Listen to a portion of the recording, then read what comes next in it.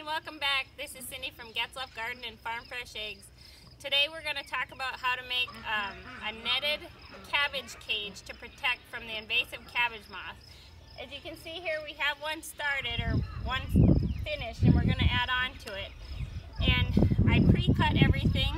Um, I use a 3 quarter inch PVC for my uh, irrigation so I have some left over and some that I uh, didn't like where the holes ended up placed, so we're actually just recycling some used material. I pre-cut these using a just a standard PVC cutter, a ratcheting cutter. You can pick them up at any hardware store.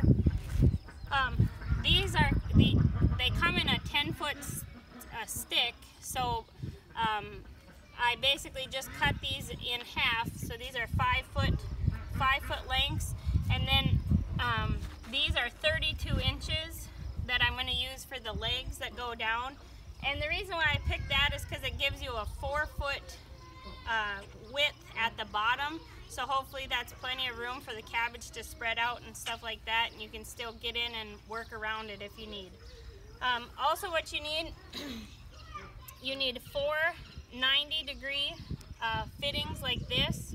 Um, I'm using Schedule 40 PVC. You don't have to use the Schedule 40, you can use the other. Just make sure your fittings correspond with the grade of pipe that you're using. You also need two uh, T's, and then um, I guess you would call this a furniture tee. They call it. It's got the the straight and then the the two angles down at 45. Now these I did have to order off Amazon. They didn't have them at our local hardware store or anywhere that I can find, but I ordered a whole pack of these um, for fairly inexpensive. Also, we're going to use this, uh, it's just deer netting here. Um, hopefully that's going to work good for us. It's, it, uh, it's doubled, so when you unroll it, you can actually just fold it down. And then we just have uh, just some standard zip ties. You can pick those up at any store too.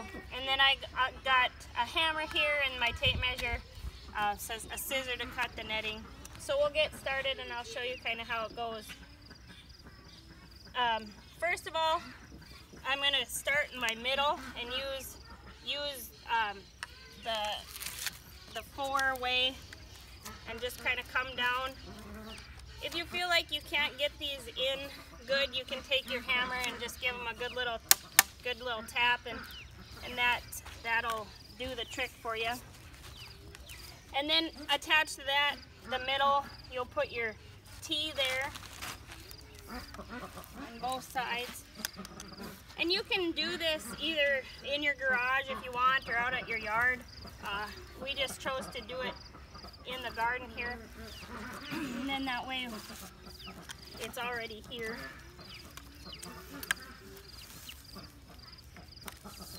And then your five foot lengths go up at the top.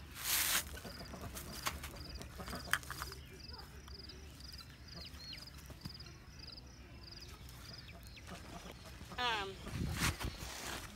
and now, thanks.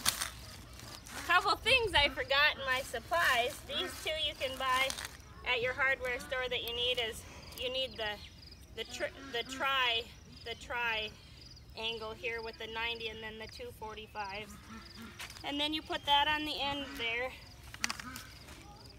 And then just keep going with your your triangles.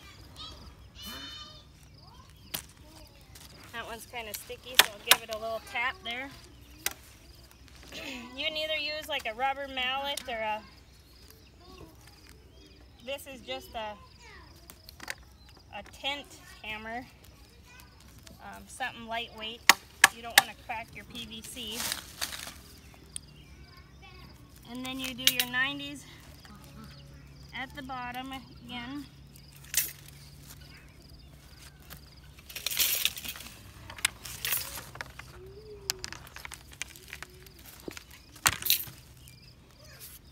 And then your five foot pieces go in between here.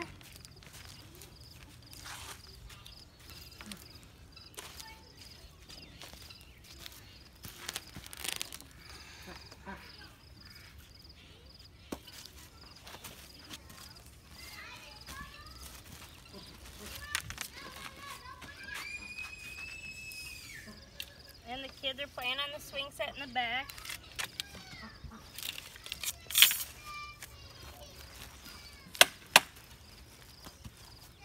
Just give them a little tap there. Then I'm going to go on with the next one. This will make you just over 10 feet of netting cage.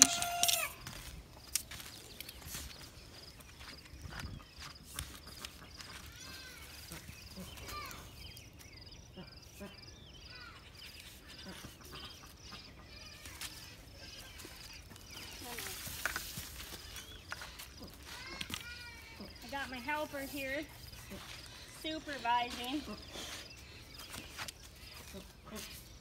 Making sure I'm doing it right. And then we'll finish off the ends here with another another three piece and two more 90s.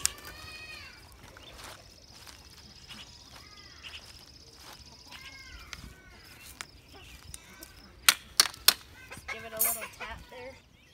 Okay, so we're gonna continue making our, our cabbage netting cage. Um, we had to take a mom break for a second and get kids situated off the swing set. So I was putting this uh, elbow here for the end and like I said you just give it a little little tap to make sure these are in um, and then attach these to the 90s at the bottom make sure it's good and tight and then you're ready to uh, zip tie this netting onto it. Um, and like I said, this netting comes halved, uh, so it's kind of handy. I'm going to have my little helper here help me uh, come down to the end, honey. And I'm going to have her help me hold it. You kind of need two people. You can do it with only one person, but it's easier. You just hold that. And then we'll string it out the length of the... Just hold it tight, babe.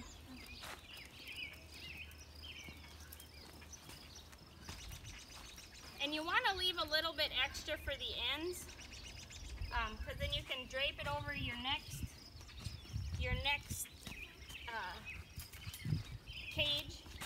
Um, and then too, uh, on your ends, then you can always tuck your ends in. So I always cut it plenty long. This is pretty inexpensive stuff. Uh, one thing with this, you want to make sure you don't try overstretch it because it is pretty um, light plastic netting um, and it will just rip.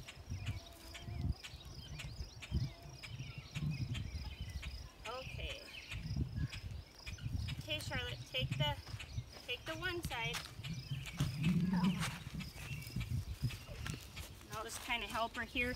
You can basically split it right in the middle where it and drape it over both sides. Now, and with this one, I'm gonna kind of go over to the next cage and put my, and zip tie it together. And basically I'm just gonna zip tie the netting to the PVC. And then, and then tuck it under, tuck it under the edges. And then uh, you can see, if you look at this other one that's done, you can see we have zip ties at all the junctions to hold the netting on. Um, and you can do it as much as you think you need or not. Um, here at this end, we have, now we're not quite finished here, we just have an extra piece of PVC that we cut off and I'm going to zip tie this to kind of just to weight down this end. Um, I just didn't know for sure how far, how um, that I wanted to go in this row because I got some other plants here, not all cabbage. Um, and then two, I also have just some landscaping spikes. Uh, and I'll just put a couple of these when I decide for sure where I'm gonna uh, position this at. And then I'll just stake this down good just to make sure that the wind doesn't blow it over or the kids knock it over or something like that.